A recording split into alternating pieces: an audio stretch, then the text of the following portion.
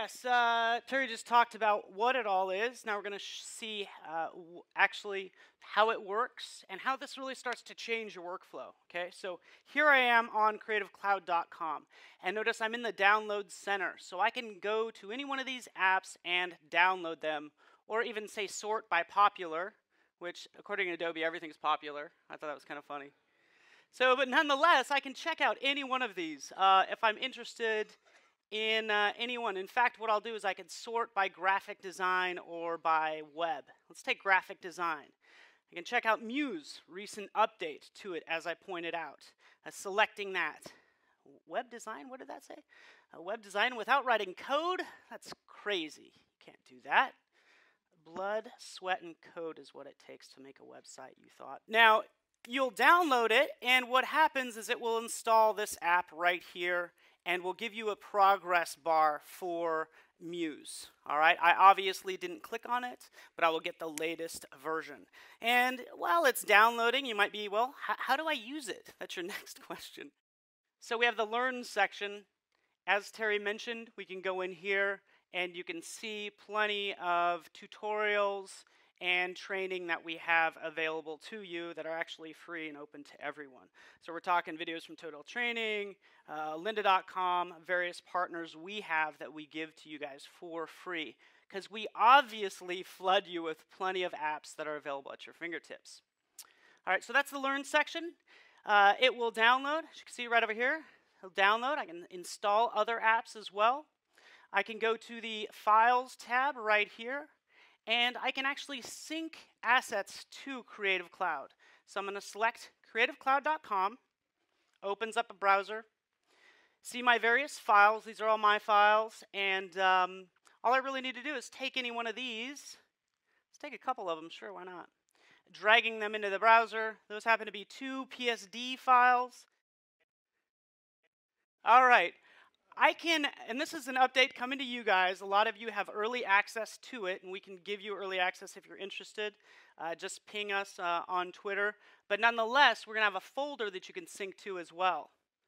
So again, there will be an update to Creative Cloud desktop app. I now have this folder that it makes on my desktop, and anything I want to sync to Creative Cloud will be a matter of clicking and dragging into that folder. And as you can see, we get that little sync icon right there. All right, so that's what is going on.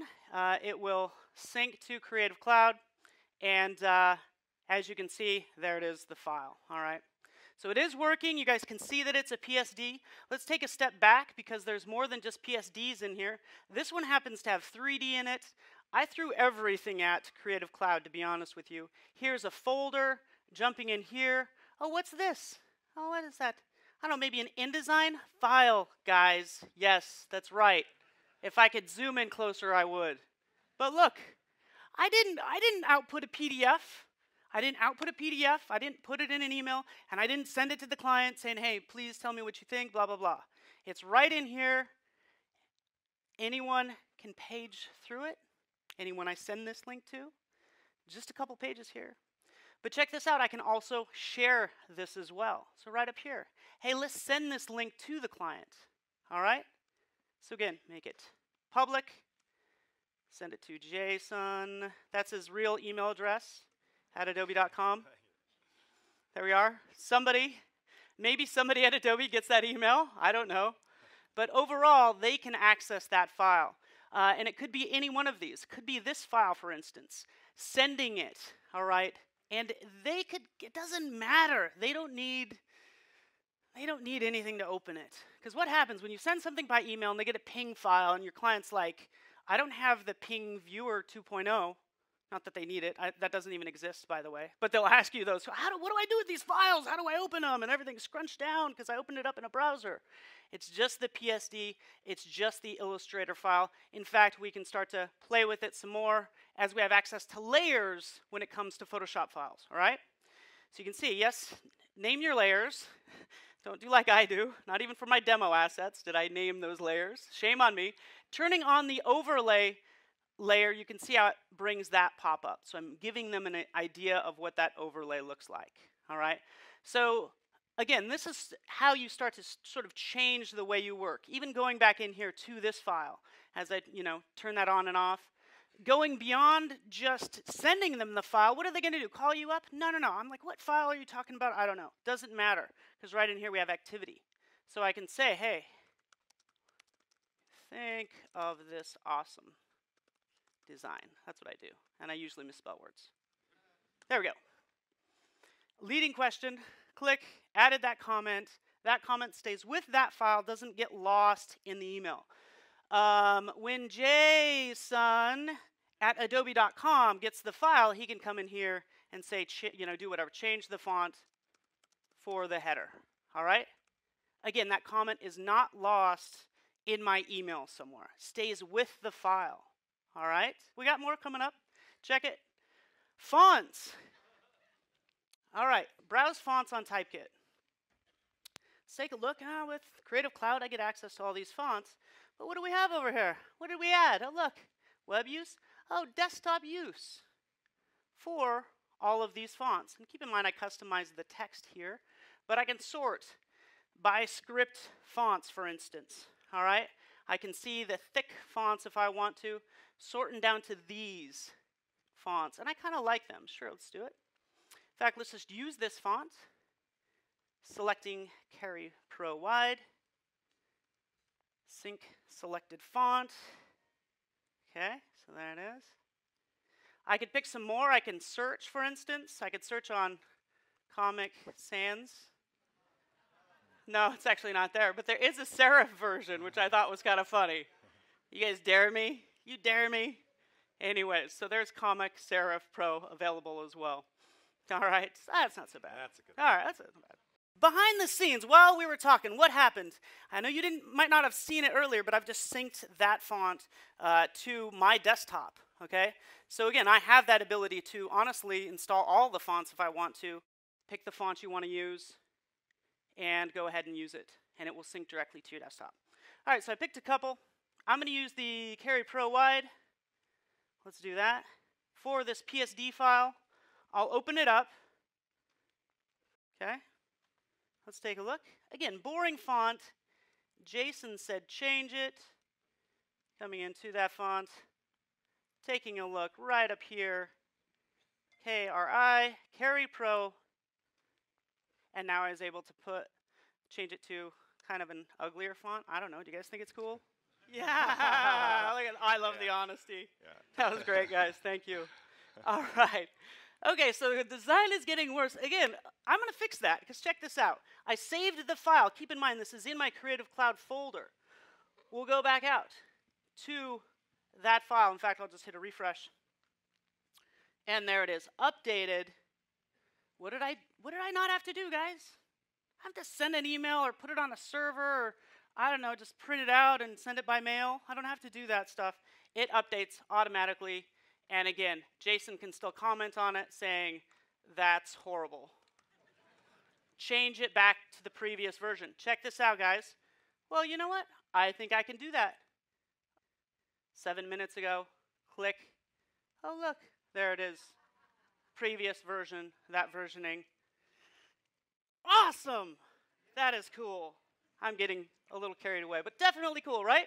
Okay, so that's my design, and I can send this to anybody with an email address, and they can view it on their mobile device, provide comments, good to go. Also wanted to show you Behance as well. Check this out.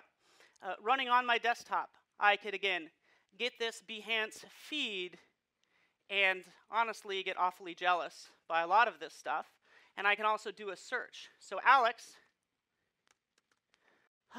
Alex Trochut, might be saying his name wrong, is going to be here later after the break showing some of his cool stuff. So again, sorting by graphic design, whatever I want. I can see his work.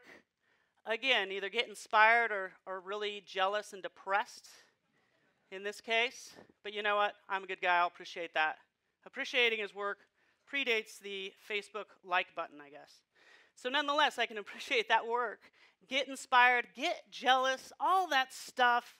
But the cool thing is, is I can actually post to Behance as well. Okay, because that's what I'd want to do. I could post to Behance, and I can click that button, or what I can do is directly from Photoshop, I can share on Behance from Photoshop. Okay, this could be an Illustrator, share on Behance, takes that image. Again, it's pretty complex. It's 3D. There's actually some other things in there.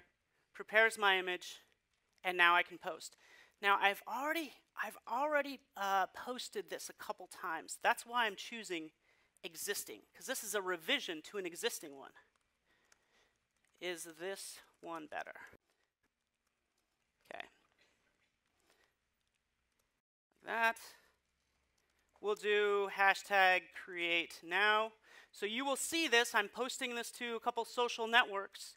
And uh, so I encourage you to check it out. Again, sharing it. It posts to Behance, to my social networks. In fact, as I jump in here to look at my work in progress, here's this piece. Again, I just made it last night. Viewing this work in progress. There it is. This is number three. Not that much different from number two. But look at this, guys. I posted this last night. Again, this isn't like posting a video to YouTube and reading the comments and just feeling terrible, like, I need to cut my hair. It's horrible. What am I, what do I, why do I talk with my hands? All that stuff. It's, look at this. Clean up the edges. And it is. It's a little dirty right here. Um, somebody mentions the top of this N looks like an H. Valid feedback from a design community. 1.5 million, in fact. And again, that's my revision that I've posted. Cleaned it up, got rid of those lines. Best one so far. Oh, that's nice. See how You're Jason? Oh. Oh, feel the love. Feel the love. A little, okay. Okay, enough, enough, enough. That's good. That's good. Sure. Yeah, that's good. Okay. All right. So again, I want to tap into creatives when it's midnight at my house and I'm posting, and I've I got feedback like right away with the previous design. At literally midnight last night, people in Europe helping me out, and it was great. I can sure enough send my profile, if you will, to the client, this URL, but I want to go beyond this, okay? This is fine, but I want to create something unique. In fact, you have access to ProSite as well. This is the easiest way to create a website on the web. See ProSite come up, taking all my projects, all my work experience, you can see it right here, Again, picking the layout, I won't get into this, but I can adjust the layout. I can start to adjust the design. And as this loads, as I roll over some of this content, you'll see things light up. That's just all the stuff I can change. So I can jump in. I could change, you know, the text, for instance. Since designer not for hire, since I work for Adobe and I don't want anybody thinking anything weird, I'm not looking for a job. Again, just doing that adding pages, customizing the URL. In fact, I'll just save this and upload it. And you'll see it here in a second. Um, adding your own CSS as well. Let's, in fact, view, because what else did I do? Hey, forget having yourname.prosite.com. You could have your own custom URL. And no one's the wiser as to whether this is a, a Behance ProSite or not. Again, you can see kind of some of the stuff going on, jumping in there for that particular project. You can see that content, right?